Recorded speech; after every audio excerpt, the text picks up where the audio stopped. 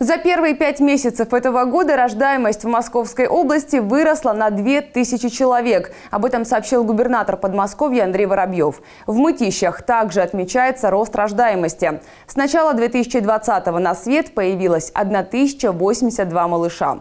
Напомню, при рождении ребенка в Московской области выдается набор «Я родился в Подмосковье», в который входят необходимые вещи для мамы и малыша. Вместо подарка можно получить 20 тысяч рублей рублей. Еще в регионе реализуется проект «Стань мамой» в Подмосковье. Комплексная услуга, которая позволяет женщинам получить документы на малыша, не выходя из палаты.